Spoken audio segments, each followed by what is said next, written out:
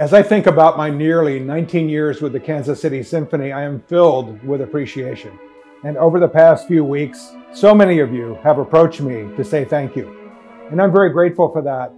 But I know that you are committed to the success of the Kansas City Symphony. If you want to find another way to express your appreciation, I remind you about our Great Music for a Great City matching gift campaign.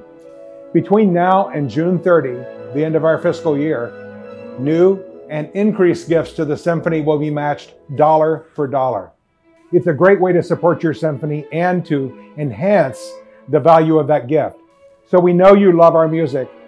If you want to show your appreciation, please make a gift to the Great Music for a Great City matching gift campaign. Thank you.